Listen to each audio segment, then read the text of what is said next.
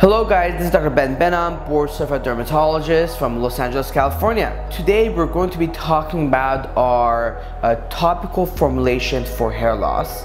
A lot of patients come in and unfortunately they're not candidates for hair transplant or they don't want to do PRP and basically they've tried minoxidil over the counter before but they want something stronger. So uh, in our office we have uh, we have a product called Happy which is a compounded prescription medication that combines prescription topical finasteride uh, combined with prescription grade minoxidil and retinoic acid. So I'm going to be demonstrating one of my patients to you guys. So this is a patient who came in.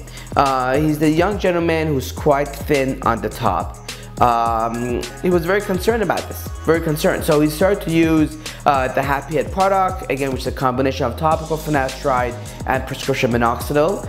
And this is him about um, so he started in August and this is him in March so August September October November December that's, that's about eight months afterwards so again I'm going to show you the photos again so that's him before and this is him about eight months after he is not on oral finasteride this is purely topical finasteride fortified with 8% minoxidil with retinoic acid, you know, but he's very religious about it. He's using it every day. So he's super excited, he's very happy. Literally results are as good as a transplant, but remember he's very young, so he cannot do transplant.